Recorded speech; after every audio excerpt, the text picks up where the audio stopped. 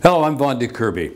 And today I am briefly going to answer some questions that come up very often.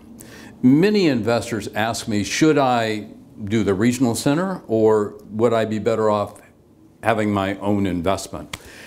Really, the question here is what your personal goals and abilities are and how your actions can meet those goals and abilities. If you're the kind of business person who really wants to operate your business in the United States, feels qualified to open and operate a business in the United States, and you're willing to operate that business with USCIS looking over your shoulder as to how you operate that business, that may be a good alternative for you.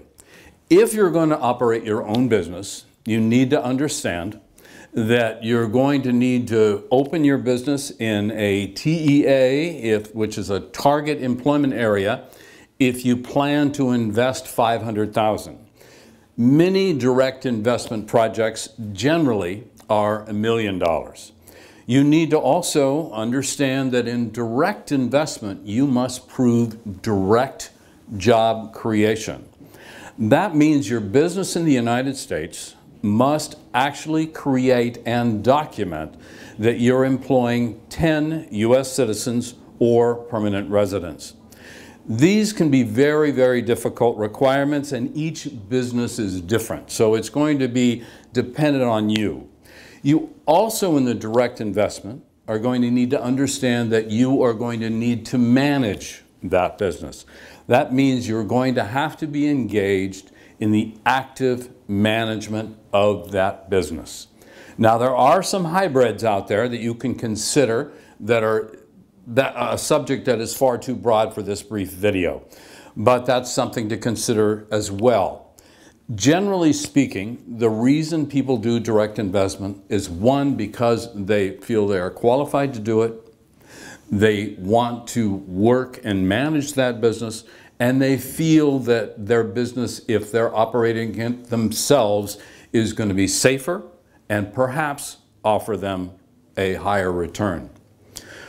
On the other side, you have the Regional Center Program, which is the perfect program for the individual that wants to obtain their green card but does not want to actually operate the business.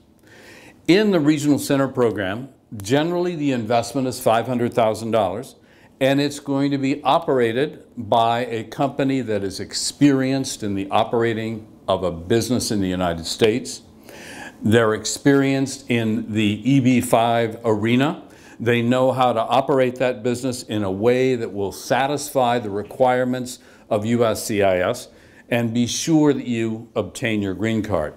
Now, with that said, it's very, very important that you work very closely with your attorney and your financial advisor in the selection of the regional center program and the particular investment you might select.